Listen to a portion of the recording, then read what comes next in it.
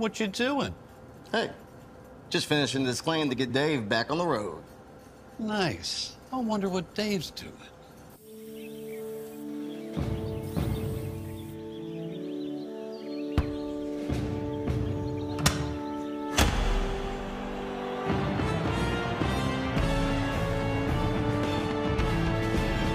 You do your thing.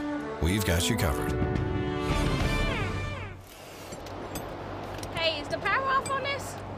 Don't know. Just take it off.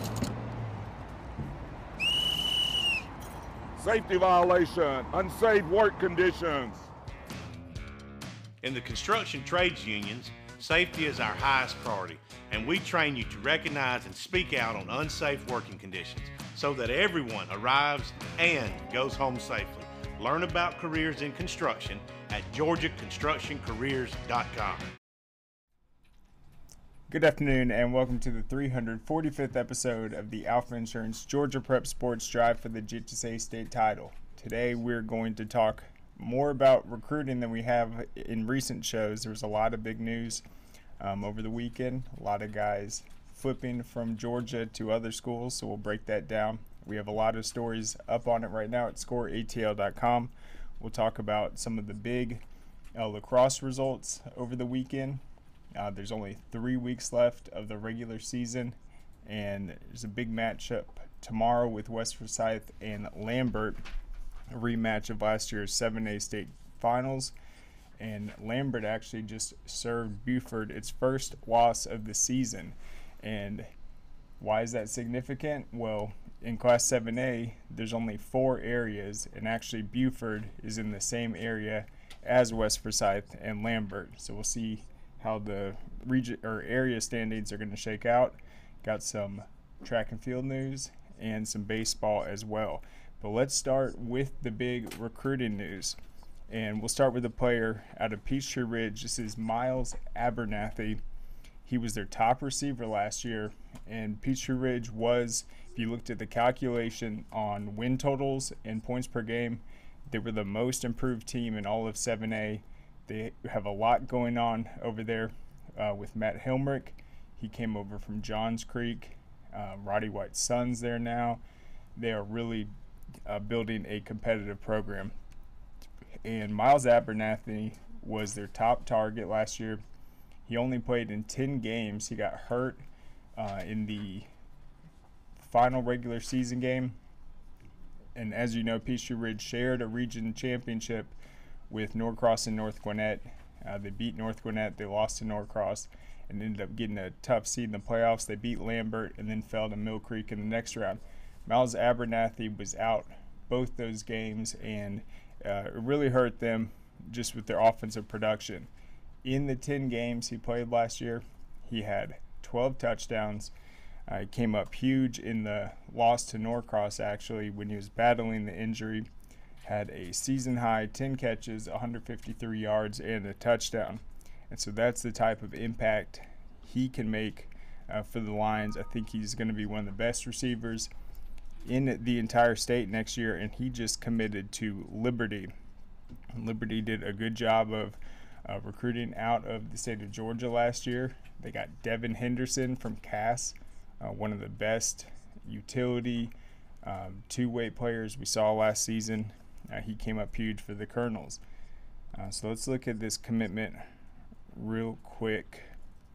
And what I love about uh, the story, it's up on uh, the Gwinnett Post. It shows Miles Abernathy in the North Gwinnett game, uh, hauling in a touchdown, and he's not even wearing gloves. This is the first time I've seen a receiver in the last few years, uh, especially one of his caliber, that plays without gloves. So that's how confident uh, he is with his hands. So let's look at it right here. All right, Peachtree Ridge senior Miles Abernathy committed Sunday to Liberty University. He's six foot four, 200 pounds. He was first team All County, All Region selection last year for the Lions State playoff team. He had 46 catches for 677 yards and 12 touchdowns as a senior. And when you look at Coach Helmrich and his track record, when he was at Johns Creek, he had a receiver named Josh Thompson, one of the fastest guys uh, in the state and explosive receivers. He's not afraid um, if one of his receivers gets hot to just go to him. And that's what you saw in some of these games last year uh, with Miles Abernathy. So just to look at his impact uh, against Loganville last year, he had five catches for three touchdowns. He had a touchdown in every single game except the Duluth one, and that was a 42 7 victory last game of the regular season, and that was the game he got hurt in. Still had three catches for 51 yards. Put up massive numbers against uh, North Gwinnett in the 27 17 victory. Three catches for 74 yards and two touchdowns. So Darnell Kelly's only going to be a junior, but Miles Ab- Abernathy going to be his top target. He's committed to uh, Liberty now. He's happy with that decision, and we'll see if he sticks with it. Uh, but that's a great get for the Flames. All right, the other big recruiting news, and actually is shaking up to be a very interesting trend, was the flip from Justice Terry when he committed to the USC Trojans. Uh, this came a week after Tay Harris, Cedartown's safety, um, and a longtime UGA commit, he also flipped uh, his decision uh, last week. So when you look at this top um, top rankings for the class of 2024 in the state of Georgia, USC is actually killing it right now. They have the number two overall player, Justice Terry, the number three with Julian Lewis, and then Isaiah Gibson, right as Justice Terry flipped to Georgia, he's another defensive lineman from Warner Robins, six foot four, 245 pounds.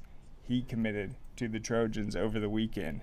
Uh, so that is that's big news, and I think it is connected. You have two of the top defensive linemen in the state now committing pretty much the same week to USC.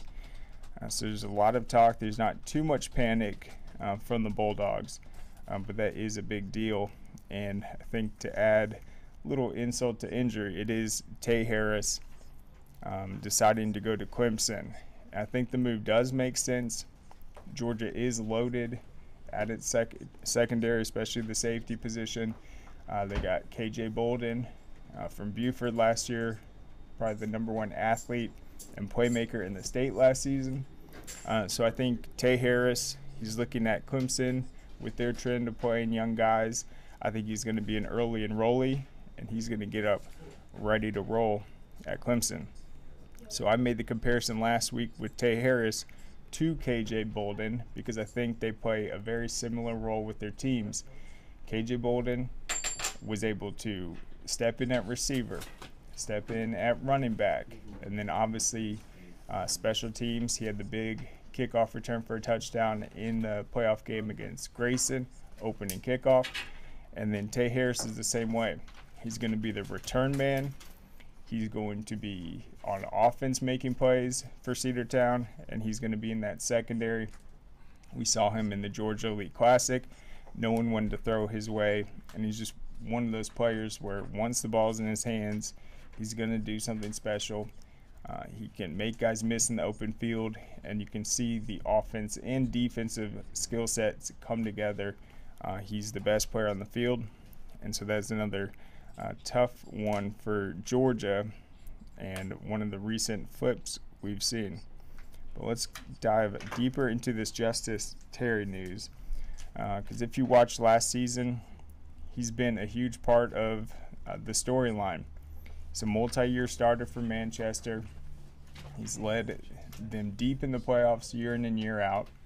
Uh, they made it to the finals last year. They ended up falling short in a toss up game to Bowdon, a team they beat in the regular season and region play. And it was no fault to him. He played outstanding. He was the biggest guy on the field. Uh, he stood out, passes the eye test. Call him a first off the bus type of guy, where you just see Manchester coming on the field and you know that that guy's special. He already has the physical gifts. And so there is talk on what does this mean um, for Kirby Smart and will he remain aggressive and try to get him back. That's how valuable of a player he is. Uh, so this came out over the weekend. It says Justice Terry flip to USC only further validates Kirby Smart's stance on NIL and recruiting. Uh, so they are tying this into recent statements from Kirby Smart, where he has been critical um, of NIL and its impact on college football. And maybe uh, USC is um, offering a different opportunity for players, and that's why we're seeing uh, more of them um, commit there. So after a day like Sunday on the recruiting trail, you can understand why Kirby Smart vented about the frustrations he has when it comes to recruiting, NIL, and development. There's a lot of them that want to talk about or ask about NIL. Smart said this earlier this month. They don't want to ask about what your NFL players have done. I think it's much more important how you develop players than how much NIL you make. And that is certainly a strong argument for Kirby Smart. Uh, in the past, Georgia had this uh, criticism actually to say, how come Georgia has the top um, top recruiting classes in the country every year? How come they're producing so many um, NFL prospects, but they aren't winning national titles? Well, Kirby Smart delivered that. Georgia obviously won two national titles, and they're still putting tons of players into the NFL. So he's saying it's not just about the money, it's about going to a place like Georgia where you can uh, develop and really get that money um, at the NFL, it, sorry, NFL level after a successful career. And so he's viewing it more as like a long-term investment in your, um, yeah, in your career. So uh, that came on Sunday. The Bulldogs have had four defensive linemen taken in the first round of the last two drafts. USC has just had one defensive player drafted in the first round since Smart became Georgia's head coach back in 2016. And anyone with a slight clue of how USC's defense played last year, uh, you would understand that they are in desperate need of some big time playmakers. Terry wasn't the only major Georgia recruit uh, target to commit to USC on Sunday. Four star outside linebacker Isaiah Gibson joined Terry in USC's class. Both players are from the state of Georgia, with Terry hailing from Manchester and Gibson being a Warner Robins native. And so the news with Isaiah came the same day. Uh, the Trojans also hold a commitment from five star quarterback Juju Lewis, giving Lincoln Riley's team three of the top eight players in the state of Georgia. As bad as yesterday was on the recruiting trail for Georgia, there's still plenty of time for the Bulldogs to recover and possibly even land Terry and Gibson and keep them back in uh, the state of Georgia. And they uh, mentioned KJ Bolden because he was a guy that they were able to convince late uh, to commit. He was initially committed to Florida State. Uh, he had a big signing party uh, week one of the season uh, with what we thought was going to be his future teammate. Uh, Luke Kromenhoek, the Benedictine quarterback, was actually there. It's one of the biggest uh, signing celebrations I've seen, um, for, or commitment uh, parties I've seen. but ultimately, he flipped. this wouldn't be the first time that Georgia has seen USC earn early enrollment from an elite player uh, from the Peach State in the 2022 recruiting cycle. Mykel Williams from Hardaway initially committed to USC and then decided to go to Georgia. And this is a make or break year for Mykel Williams.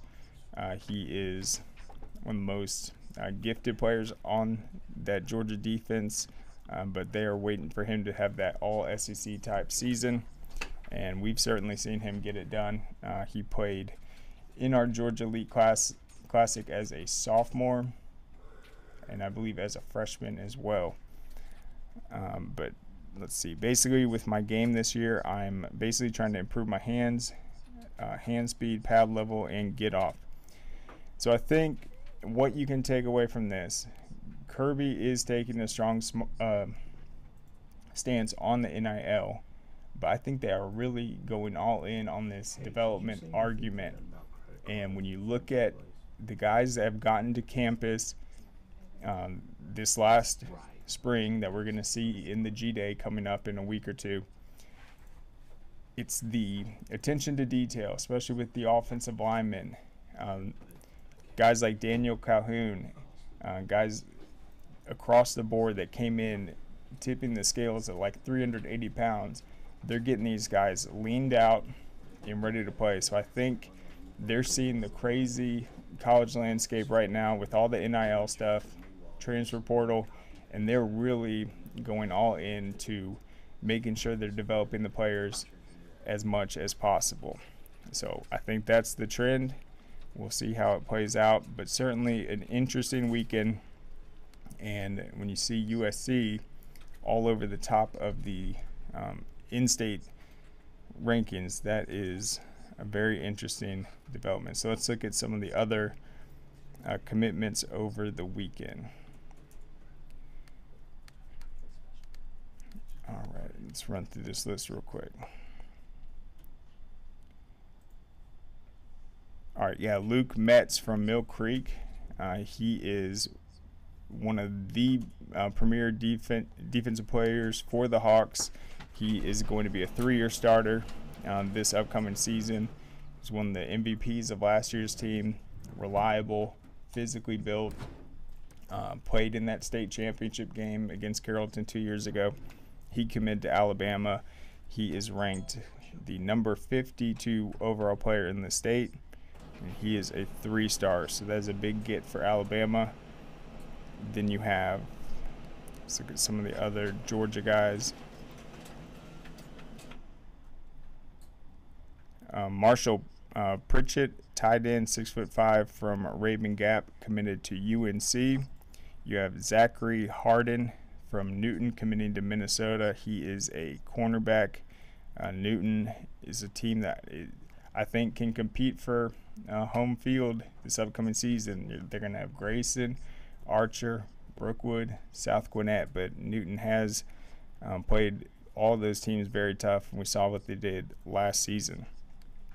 And then you have, uh, yeah, Dodge County. We mentioned him, Daryl Johnson. We've got a nice story up on Score ATL with more details on that commitment that came late last week.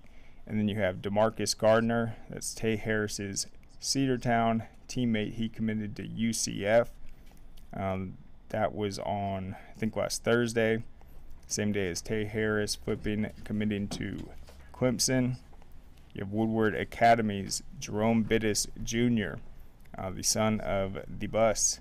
He committed to Notre Dame last week. He's a wide receiver, six foot two, 190 pounds. And uh, Tavares Dice from Langston Hughes, offensive tackle, committed to Auburn. So it has been a busy week. It really does seem like it is a year around uh, recruiting cycle these days. Uh, lots of news breaking, um, but we will see uh, who ends up coming out on top. There are still a lot of great uncommitted players. You got Elijah Griffin. Now that Justice Terry's gone, he's a defensive lineman. Georgia is uh, among his top favorites. You got Zayden Walker, linebacker from Slide County. And then some other big time defensive prospects, Tavian Wallace and Kevin Wynn, all in the top 10. And then another player, Antoine Hill, that we're going to see in the Corky Kell Classic against Alpharetta, the six foot five quarterback. He is certainly one to watch for. All right, so that is it for the recruiting. We've got a lot of stories up on ScoreATL.com with Max, Najee, Hayden, all um, putting down the brakes. All right.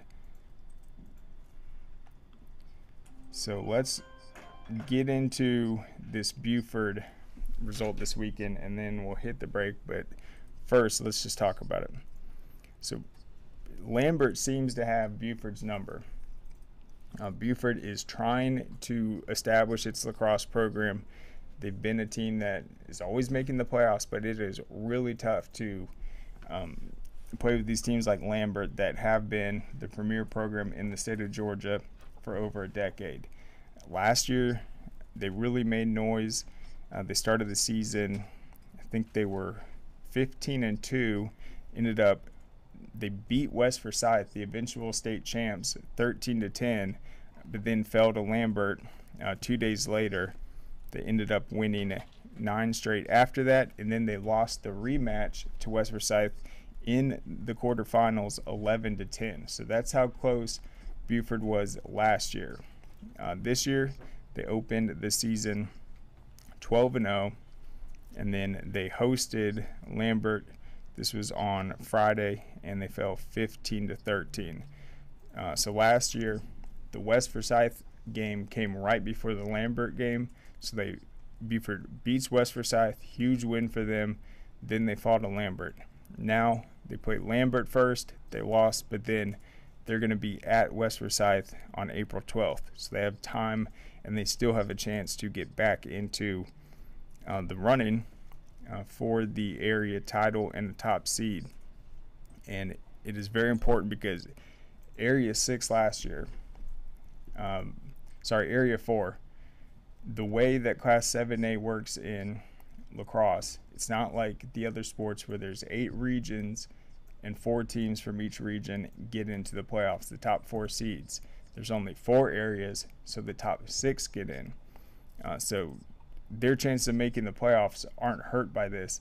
But last year, Area 4 swept the first round of the playoffs. All the teams won. Uh, South Forsyth actually ended up getting the number six seed out of Area uh, 4, and they beat Walton in the second round after Walton's bye. So that's how deep this area is. And then they ended up sweeping their way to the semifinals and completely filling it with West Forsyth, uh, Lambert, um, Buford, and I believe Milton. So this has been the premier region. It is the deepest, and we'll talk about it on the other side. But let's first thank our sponsors real quick. Hey, does it matter if this leaks? It don't matter to me. Can't see it from my house. Illegal use of hands and proper training. GeorgiaConstructionCareers.com has 14 different highly skilled trades with tuition free training in our certified apprenticeship programs to train you the right way. Find your career at GeorgiaConstructionCareers.com. All right, welcome back. So let's. I'm gonna pull up this lacrosse real quick and break down the different areas.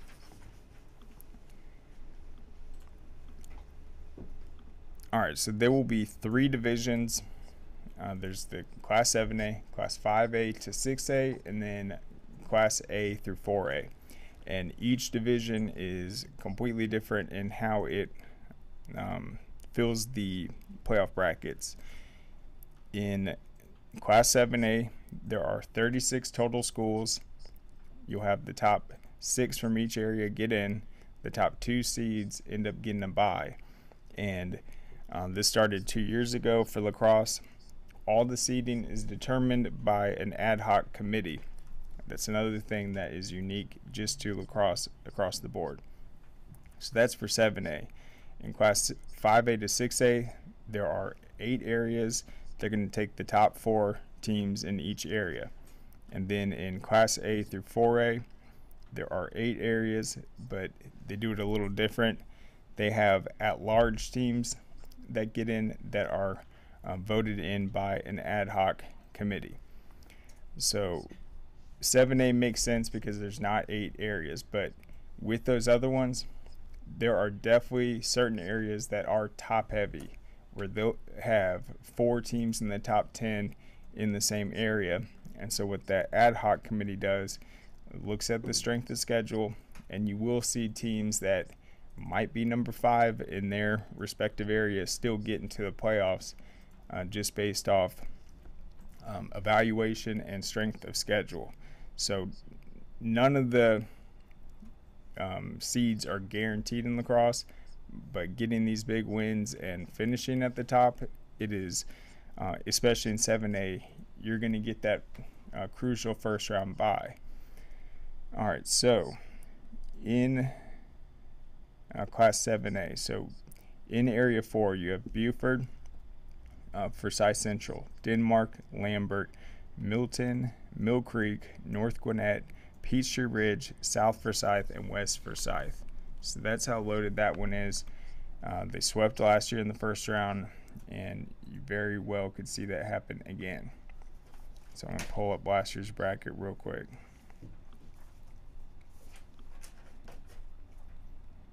All right, so South Forsyth, the sixth seed, they ended up getting all the way to the semifinals before they fell to Lambert by one goal.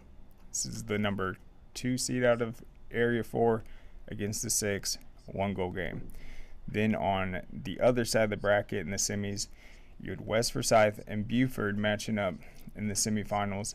That was a one score game, 11 to 10. And then the championship, 11 to 9 West Forsyth swept uh, Lambert for the title.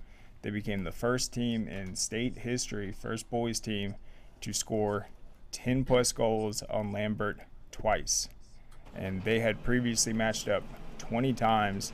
They never once scored 10 goals. So that was West Forsyth's best ever season. Uh, but now you're seeing Lambert, um, after really uh, getting um, dethroned for the first time last season by a rival that they had never lost to. Um, they are coming for it this year, and the win over uh, Buford sets up some big matchups this week. So tomorrow night you're going to have um, that will be West Forsyth against Lambert. As we mentioned, it's a rematch of last year's state championship. It comes on the heels of uh, Lambert who was ranked number four, beating the number one ranked um, Buford Wolves, and then how this impacts the rest of Class 7A.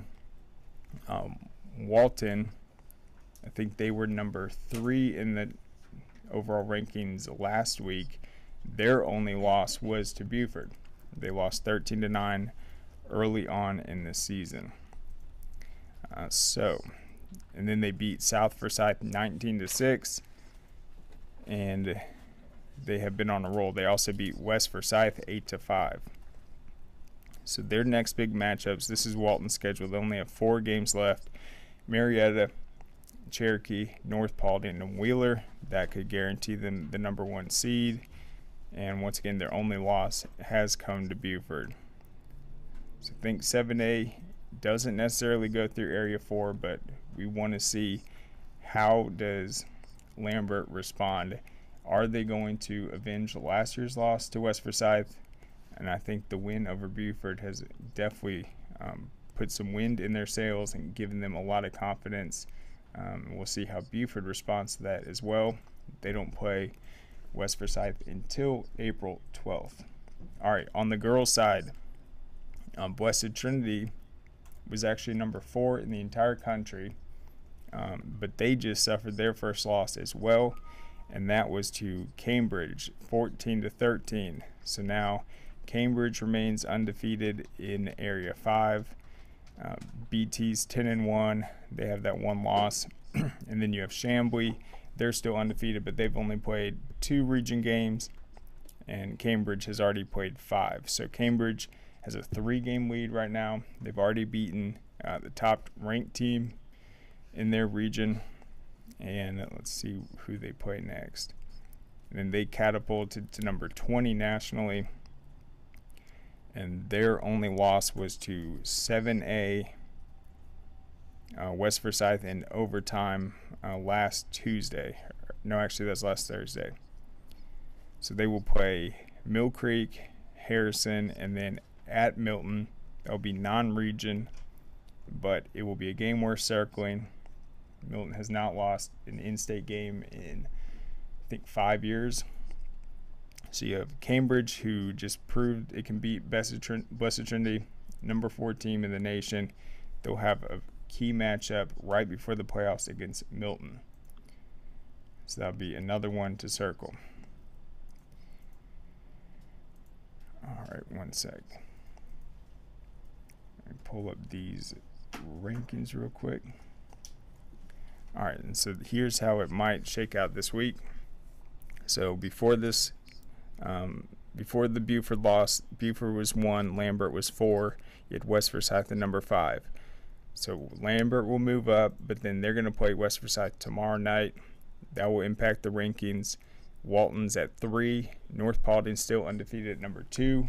Walton has North Paulding on its schedule. That's the last top 10 uh, matchup for them. They've already beaten West Forsyth and many more on that top 10. In Class 5A to 6A, uh, North Forsyth on the boys' side is number one, uh, above Roswell and Lassiter. Roswell is the defending state champ. They have had some tough outings, including the big loss to Walton. And then in Class A 4A, you got East Forsyth, a three year old school. They're at number one, uh, but you got Starr's Mill, Fellowship Christian, and Whitewater nipping on their heels. In Class 7A girls, Milton still undefeated. Um, they are leading North Paulding, South Forsyth. Then you got um, West Forsyth, Brookwood, and Walton in that top 10. BT remains number one. Uh, despite their one loss, Cambridge has two losses. They're at number three. You got River Ridge at number two, undefeated at this point at 11 and 0. And then the Fellowship Christian Girls lead Class A 4A. But yeah, the big one tomorrow night, uh, West Forsyth and Lambert, and then the rankings will come out the next morning. So be sure to tune in to that, and you'll get the updates right there. All right, so let's look at.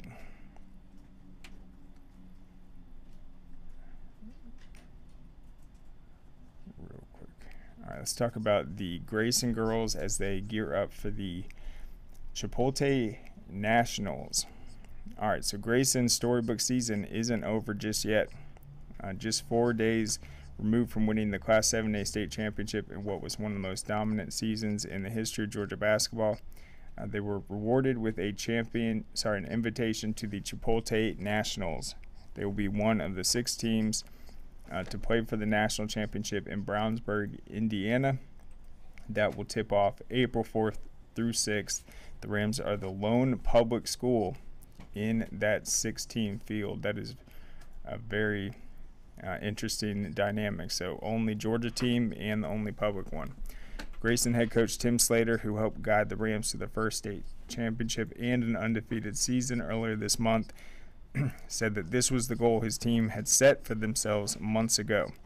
We're the only representative from Georgia, so to represent Georgia in generally, eh, sorry, in general, is really neat for us. The girls had the goal of being on that national stage and wanted to create a national brand. So to accomplish that goal is great, and we're really excited. In order to get the get into the conversation about being one of the nation's best teams, it took a 73 to 56 win over IMG Academy back on January 13th to really put them on the map. The win propelled the Rams into the MaxPreps top 25, and they've since risen all the way up to number four in the national rankings after winning their state title. For the upcoming national tournament, the Rams were given the number two seed, and they will play the winner of IMG Academy and Grace Christian, which could set up a rematch against the Ascenders in the semifinals. Truthfully, we're really thankful for IMG Academy, Slater said. They didn't have to play us that first time. Them playing us and giving us that opportunity is really what propelled us onto the national stage and got us into the rankings. We're not going to sneak up on them this time. They're going to know who we are, and we will be out for Bud. Sorry, they will be out for Bud. Uh, we're really excited about the opportunity to compete. Representing the only public school in the tournament, Slater said it's something that they're not taking lightly. That's another honor. As we go into the tournament as the underdog and the only public school, getting to represent a lot of people that normally don't get this opportunity. We get to be that underdog, and we're going to play up to it. We're going to go out there and compete. As a reward for being selected to play in the tournament, all expenses have been covered by the tournament sponsor, Chipotle, who took over the naming rights this year. Chipotle stepped up and took over the naming rights, and they've been phenomenal, Slater said. It's all expenses paid. They really just want us there, so that's a huge relief, especially for the high schools, uh, to have to come to not have to come out of pocket to go there. That's tremendous that they're spending that much time and money. So it's all going to take place April 4th through the 6th. So they get that bye. So I guess they only have to win two games to become national champs. The Rams' ascension from middle of the pack in Class 7A last year to one of the nation's best team has been nothing short of tremendous. As you know, they lost to North Paulding last year by a point. They beat them by 30 points in the regular season and then swept them in that championship game. Uh, with the addition of three transfers in Danielle Carnegie, Malaya Jones, and Taj Hunter, paired up with two homegrown players, Aaron Rodgers and Tatum Brown, Slater said this run was a result of hard work and dedication last year when adversity struck. The build up for this year started last year when Aaron Rodgers, one of the homegrown players, tore her ACL. Tatum had to step up and carry the load. She went from being a freshman to a sophomore carrying so much uh, with so much pressure. All of this comes from the first year when Aaron went down and those kids busting their tails to put them in this position. A lot of people just see the end result. They see 32 and nothing. They see, or 32 no, oh, they see the state title.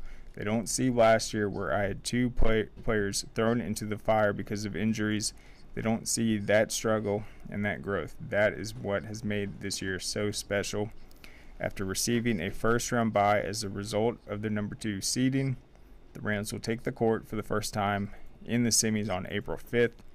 Their game, along with all the others, will be aired across all ESPN platforms. So we haven't talked about the details yet, but definitely put that on the calendar if you haven't gotten to watch Grayson play this year. They are a truly complete team. Danielle Carnegie is an absolute beast. Uh, they've got a lot of special players, and um, they have a chance to complete a perfect season and do it in the biggest way possible.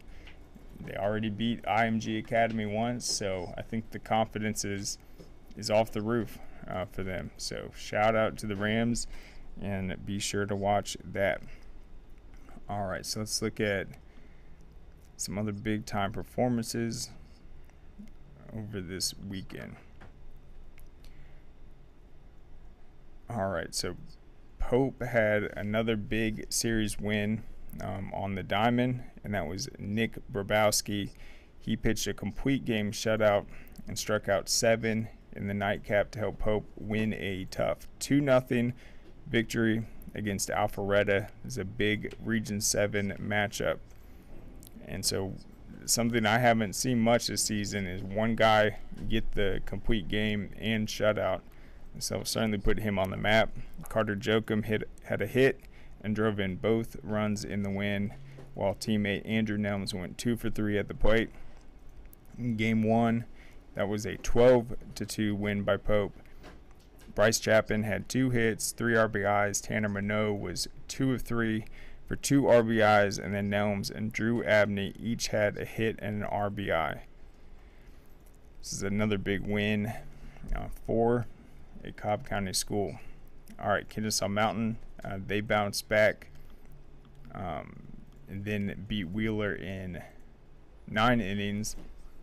So another tough loss for Wheeler. Mentioned um, they had just lost to Osborne, resulting in Osborne's first uh, series win for their baseball program. I think it was at least 17 years. Um, but that was Isinder Povitan. He had two homers in the win to propel Kennesaw Mountain to a 7 to 6 extra innings win over Wheeler. He also tripled, drove in four runs, and was responsible for that nail biter. Peter Jerzanak was 2 of 5 with a double and RBI. Garrett Barlett and George Lutz each had two hits. Austin Carter had a double and an RBI. Tyson Harmon pitched three hitless innings and struck out four in relief to earn the win. Um, and they will carry on. So that keeps Kennesaw Mountain's playoff chances alive. Obviously, you got North Cobb playing well. and then Walton also in that conversation. And so that is a good spot to pick up. Let's hit the break, and we're going to talk about what the baseball rankings are going to look like this week when we get back on the other side. Dang, where you get this car? You need to join the union. The union? Absolutely. You can get 10 of these. Union construction workers earn the highest wages with the best benefits and the most protection in the construction industry. Find your career in construction. Go to georgiaconstructioncareers.com and start your future today.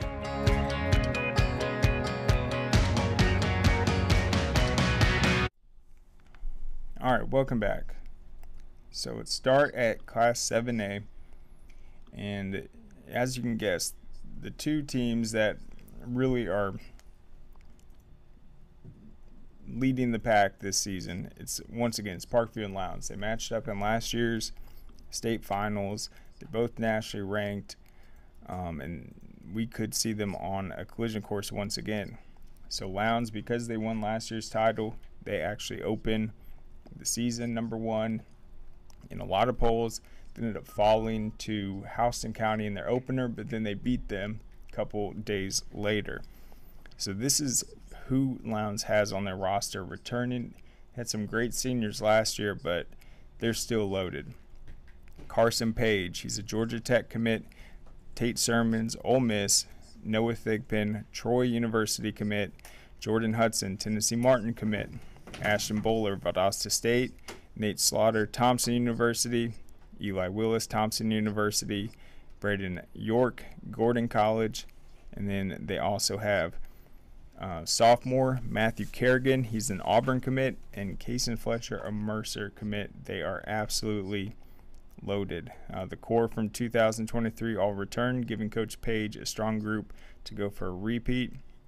Troy commit Noah Thigpen um, had a strong offseason, looks even better. He will be their go to guy.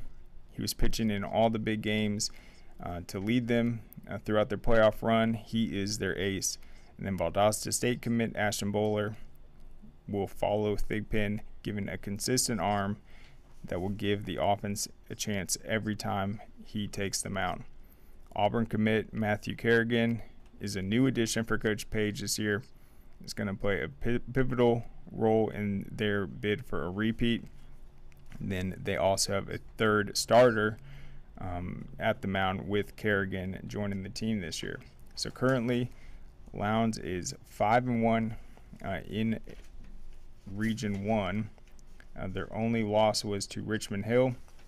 They ended up winning that series um, two to one.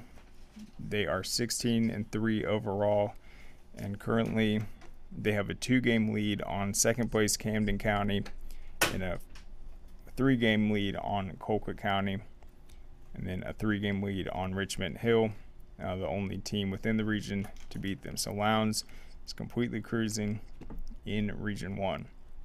All right, as for Region 2, currently you have Westlake at the top. They are 2 and 0 and then Carrollton they're at 2 and 1 and then Campbell they've had a great season so far, but they've lost two straight. They've dropped to 10 and 8. Um, but they have a chance to pick themselves back up in the region. They've only played three region games so far. They are one and two. They're currently sitting at number three in the Region 2 standings. And you also got East Coweta and Pebblebrook uh, fighting for a potential playoff spot. All right, so let's go to Region uh, 3 in Class 7A. Uh, North Paulding is in first place. They've won three straight. They're unbeaten at 3 and 0. And then Hillgrove is just one game back. They're five and one in the region. And then you got Harrison and Marietta uh, in a fight for that number three seed. So let's see when North is going to square off with. Yeah, they will have Harrison tomorrow night to start a three game series. They win that one, they can lock up that top seed. All right, in Area 4, now Brookwood's having an incredible season. Uh, they beat Walton. They've had a ton of top 10 victories. um, but they still have to contend with Parkview. And Brookwood did themselves a huge favor last week when they swept Grayson, uh, putting Grayson's playoff um, chances on the line. They're currently in a tie with Newton for that number four spot. You got Parkview at six and zero, and then Archer and Brookwood are both five and one. Grayson has already had to play Parkview and Brookwood. Uh, those weren't successful series for them, but if they can beat Archer and Newton, they can still earn a potential two seed. It will be tough for them to get past Parkview, just being in a four game hole at this point. But if Parkview is able to beat Brookwood, Archer can get some wins. Uh, Grayson can still um, get a high seed in the playoffs. Let's look at Parkview real quick and their big time players. So they got Cade Brown, a Georgia commit, Thorpe Moosey, he's a Georgia Tech commit, Ethan Finch, Kennesaw State, Adrian Jimenez, VCU, Ford Thompson is a Mercer commit, John Holcomb, Southern Union commit, and then Makai Buckley, a Wallace Dothan commit, and Kason Gleaton, a Walt, sorry, a Wallace Dothan commit. Those are just the seniors. They're juniors. They have Porter Berriman. He's a Brown commit. Eli Pitts, a South Carolina commit. And they are really cruising right now. They're the highest ranked team in the state of Georgia. Leading the Panthers is senior third baseman and Georgia commit Cade Brown. Uh, he returns after his junior season where he hit 14 home runs and batted 486 at the plate. Newcomer, uh, senior shortstop and VCU commit Adrian Jimenez brings above average tools on both sides of the ball and slots in nicely to fill the hole left by 2023 first round pick Holland, sorry, Colin Houck. Uh, he's also obviously Parkview's quarterback. Another strong all around profile returns behind the plate, and Kennesaw State commit Ethan Finch, who will be looking to improve a strong junior season and will be the leader for the Panthers this spring. So both those teams are completely loaded, and that would be a heck of a rematch um, after last year. And as we mentioned, each each program, Lowndes and Parkview, added a new piece this year that's also able to uh, start in the pitching rotation. All right, so in Class 6A, Houston County is the defending champs. Uh, they are considered number three in the state of Georgia, regardless of class, behind Parkview and Lowndes. But as we mentioned, they already split games with Lowndes, and they are rolling right now. So they have 22 returning players from last year, tons of pitching depth coming back, and they are improved defensively and have a lot of experience. Eli Stevens, he's a Mercer commit. Kai Decker, another Mercer commit. Carson Small, Pensacola State. They've got a junior committed to Mercer with Ethan um, Buffone. And then Vic Gann in the outfield and Will Allen at first base and pitching. Uh, the Bears have been one of the powerhouses in the state of Georgia for the last several years. They had a special season capped off last year with a state championship led by Drew Burress and Andrew Dunford. Their seniors this year have been starters for three years now, and they have the experience to lead the way. Mercer commits Eli, Kai will lead the offense. Both are two of the most consistent hitters in the state. So Houston County is looking for a repeat, and they are cruising in Class 6A right now. All right, let's look at let's look at this Region 5 in Class 7A real quick. So this one is um, still very up in the air. Walton opened as the highest ranked team in the statewide power rankings. They are ultra talented, but they have had uh, a tendency this year to drop some games in these two or three game series. They've not been a team that you'll often see sweep in all three, which indicates maybe they have two solid aces.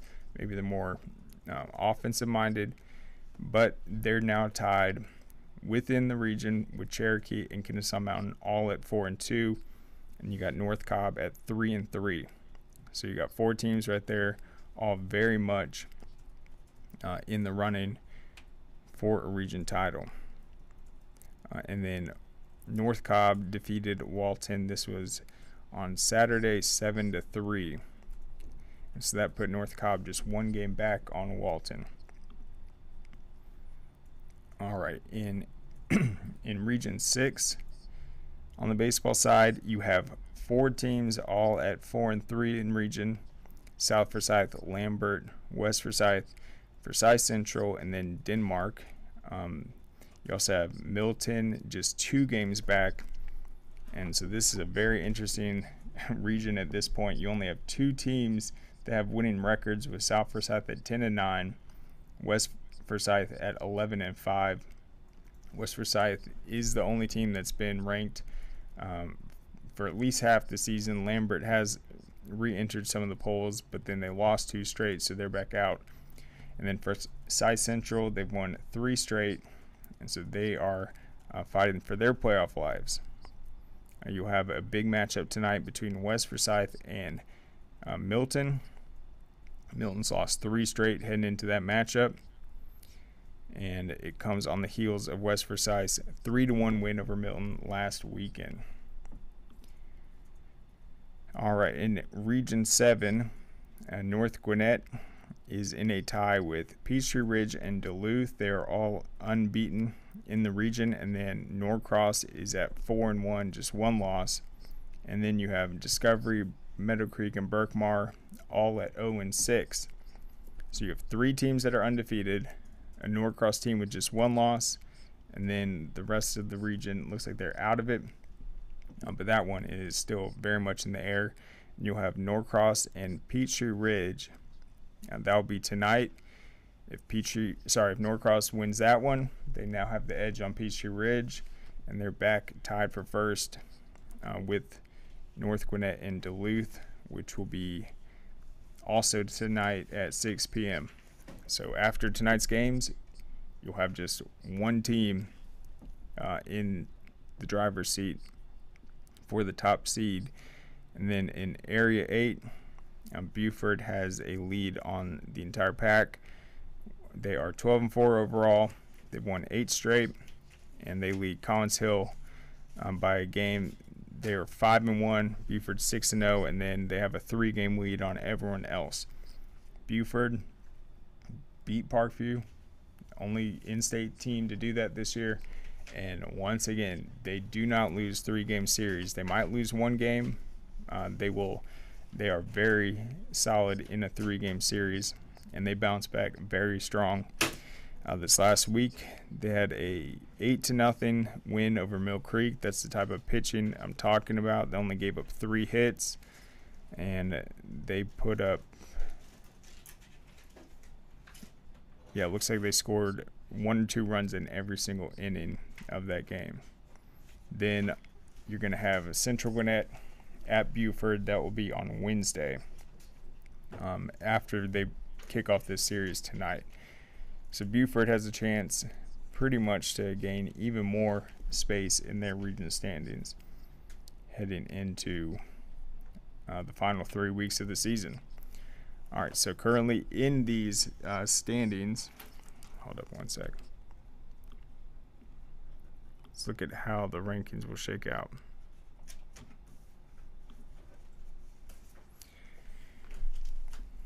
All right, so you have Buford, and my rankings will come out on Thursday, and these are the prep baseball report. I think their first ones came out last week, but they got Brookwood at number three. They moved up from number four. North Gwinnett moved up to number four from six. You got North Paulding at five. Walton slid because of that loss uh, to Kennesaw Mountain. Sorry to North Cobb, seven to three loss. They slid to number seven. And Marietta is at number eight.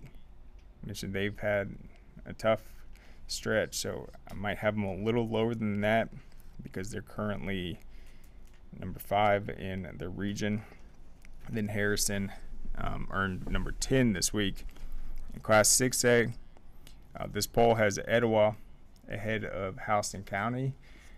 Um, I definitely am going to put Houston County number one. Etowah last week, as you remember, they lost 13 to three to Kell in non-region play, and then Blessed Trinity ended up uh, defeating Kell two days later, and they came in at number five this week, and they actually dropped a spot from number four in this poll. Then in Class 5A, you got Cartersville number one. GAC remains red hot. Uh, they've got one of the longest win streaks in the state. They moved up to number three. Uh, Ola started the season 10 0. They've run into some tough matchups, but they're still at number five. They fell from number three in this poll. In Class 4A, Starr's Mill uh, continues to be number one. They are in a loaded Region 4 with LaGrange, who comes in at number four this week. And then um, Region 8 has a bunch of teams in here. North Hall, that's the team that had to forfeit the first seven wins of the season, but it's not impacting them in region play. Uh, their fellow Region 8 opponents, East Forsyth, they come in at number six. And then you got North Oconee, Walnut Grove, and Cherokee Bluff. So Region 8 has five teams in that top 10. And then number 10, Walnut Grove, actually beat number 2, Cherokee Bluff. All right, in Class 3A, defending state champ Harlem is the only, I think, the only undefeated team left at this point. And they famously won the state title last year. They're an Augusta school. They were like 32 and 0. They lost either their final game of the regular season or second to last game, and then just swept their way uh, to the state title. So they haven't skipped a beat. They're still undefeated and leading uh, Class 3A. You got Pickens uh, moving up to number two uh, this past week. Uh, Peach County has fallen in my poll, um, but they remain number five in theirs. Then you got Franklin County um, also on a big win streak. In Class 2A, North Cobb Christian and Mount Paran are outpacing everyone. Uh, Redden, sorry, Redan only has one loss. I think they're on a 12-game win streak. Then in Class A Division One, uh, Charlton County. Uh, this is their second week at number one. I still have Cy County at number one, and then you got Baconton Charter. Uh, they are on a 12-game win streak. And then finally, Class A Division One, Prince Avenue Christian uh, leads the way. They won their first ever boys state title last year and returned pretty much everyone and lead Pepperell, Irwin County, and then Tallulah Falls comes in at number four. Uh, they have jumped significantly in the past week. So a team that's not getting any mention is in Class 3A, and that is uh, Gordon Lee. So they're not in on this week's poll, but they started the season 0 and 7. They played a bunch of 7A schools, some higher opponents, but they've won eight straight games, and they've won state titles before. So I think Gordon Lee is a team to watch for this week in those 3A rankings. Uh, but those will be out on Thursday, and they will come after busy Wednesday schedule. There's 160 games. There's some big matchups tonight, obviously, and then Tuesday. So stay tuned for that. Uh, that's it, though. We'll be back tomorrow with Underrated Overlooked at noon. And then, um, let's see. I think we'll have lacrosse rankings out on Wednesday, soccer tomorrow, and some more breaking news. So thank everyone for joining us today, and we'll be back then. What you doing? Hey, just finishing this claim to get Dave back on the road. Nice. I wonder what Dave's doing.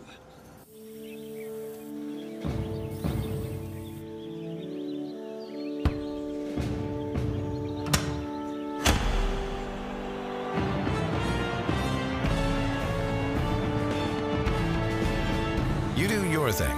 We've got you covered.